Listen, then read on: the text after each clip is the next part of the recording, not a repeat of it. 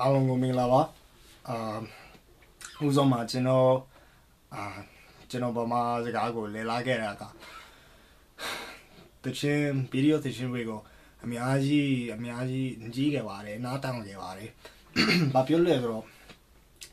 ကျွန်တော်ကျွန်တော်ရဲ့ဗမာအတန်းကိုရာရာဖို့အာဗမာဗမာလူတွေကိုအာနားထောင်နားထောင်လို့ရခဲ့ပါတယ် နောက်ပြီးတော့ကျွန်တော်တချင်းဝေကိုနားထောင်ခဲ့တဲ့အခါဗီဒီယိုဗီဒီယိုတချင်းဝေမှာကာရီယိုဂီကိုအာပတ်ခဲ့ပါတယ်အဲ့ဒါကြောင့်ကျွန်တော်ကျွန်တော်ဗမာတချင်းတွေကိုအာအများကြီးအများကြီးတည်တည်ရပါတယ်အာအဲ့ဒါအဲ့ဒါဆိုရင်ခင်ဗျားတို့အားလုံးအတွက်ကျွန်တော်ဘာမှဘာမှတချင်းကိုအာတချင်းဆုပ်ပြမယ်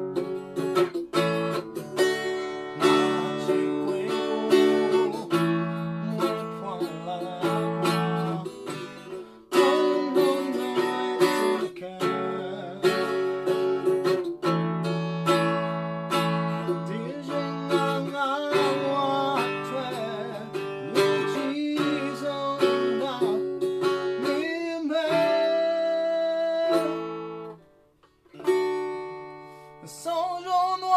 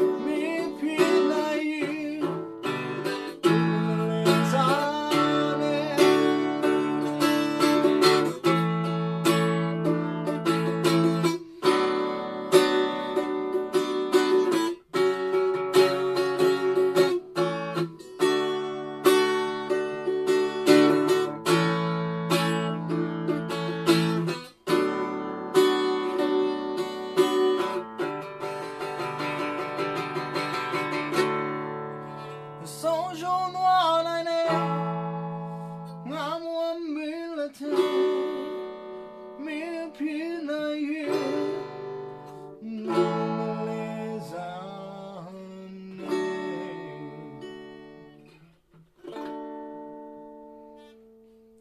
အားလုံးကိုကျေးဇူးတင်ပါတယ်